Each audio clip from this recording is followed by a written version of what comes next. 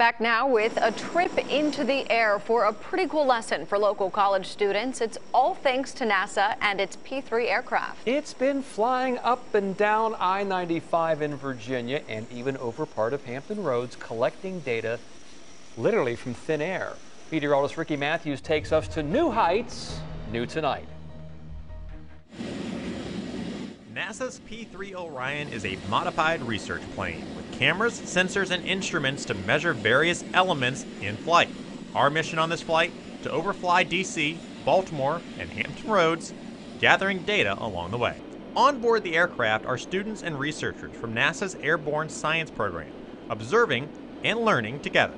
There's like at least five different instruments that I know of on there, like 4STAR, there's CAR, and like the other instruments. In addition to that, there's the flight deck where the pilots are actively flying. You get to kind of talk to them and see what they're doing, where we're going. While the scientists conduct their experiments and the pilots fly, the students can interact and ask questions, educating them as to how airborne research is conducted.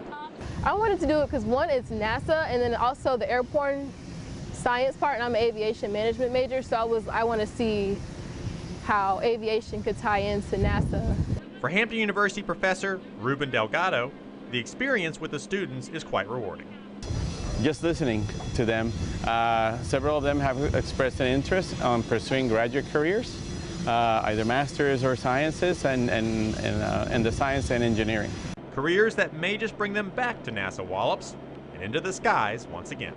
At NASA's Wallops Island Flight Facility, I'm meteorologist Ricky Matthews, 10 on your side.